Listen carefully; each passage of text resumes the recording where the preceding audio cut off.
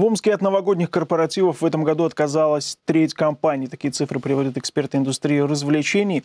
Остальные экономят на шоу-программах. Не пригласили ни одного популярного артиста, хотя, к примеру, Сергей Лазарев за участие в корпоративе просит уже не 2,5 миллиона, а всего лишь полтора, и это после успеха на Евровидении.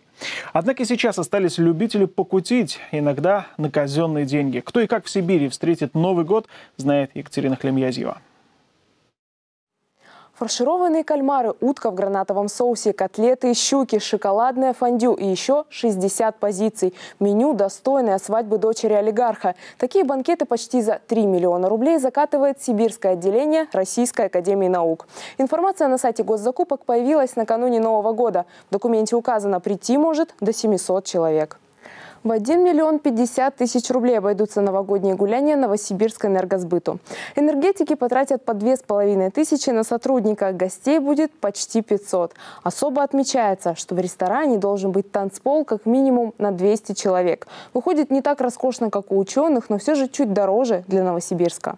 В Омске торжества на госзакупках никто не заказывает. Как говорят в пресс-службах мэрии и областного правительства, на бюджетные деньги органы власти не гуляют. Если и хотят отметить наступающий Новый год, скидываются и платят из своего кармана.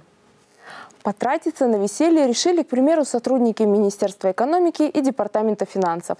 Они заказали банкет в одном из ресторанов со средним чеком в полторы тысячи рублей на человека. Довольно бюджетно.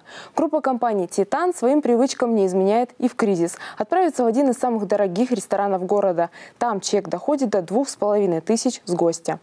В Кемерове компания СДС «Энерго» устроит корпоратив 23 декабря в честь своего профессионального праздника. На организацию потратят 130 тысяч рублей. Кажется недорого, но приглашены туда лишь 20 человек, а это уже по 6,5 тысяч за сотрудника. Для сравнения, их коллегам по отрасли на 100 человек понадобилось 123 тысячи, почти в 6 раз дешевле. В Томске государственное предприятие по производству протезов заказало корпоратив на 160 тысяч рублей. А Томская законодательная дума решила на миллион рублей подарить праздник всем, кто придет на ее новогодние торжества. 500 человек получат пакеты с сувенирами от законодателей Томской области. Ручки, календари, блокноты, ежедневники.